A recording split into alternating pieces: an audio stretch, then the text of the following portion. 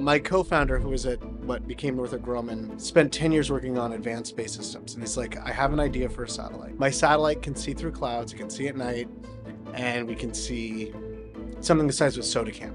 And I was like, okay, what's NASA's satellite? And he's like, well, it's very different. NASA has a satellite, it sees four to seven meters. So I was like, so, but you can see a soda can and they can only see like four to seven yards? It doesn't make any sense at all. It's like, what's their satellite cost? And it's like, a billion dollars. I was like, their satellite sees a a billion dollars and like a giant cargo ship is like one or two pick like it doesn't make any sense he's like yeah no that's the like the problem like, so fast forward nasa still has not launched that satellite nisar it overran its budget by $800 million meaning the prime contractors who were on that contract increased their profit So it's like a cost plus. it's a type cost plus deal. total Yeah, yeah. nightmare.